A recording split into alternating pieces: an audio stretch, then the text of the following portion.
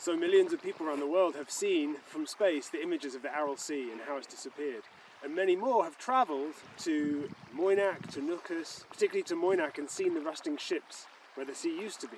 But very few people come and actually see what's left of the Aral Sea, which is what's behind me. And it's astonishing to come here and remember that this is actually a real living sea uh, that still exists, even though it's still retreating, it still exists, and there's still a, a marginal ecosystem hanging on here by its fingertips.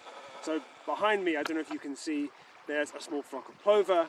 In the distance, we can see flamingo and gulls. We have um, Artemia lining the shores.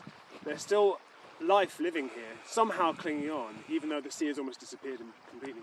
So it's important to remember that the Aral Sea is not just the site of a catastrophe and a lost sea, there is also a living sea here that we still need to try and safeguard.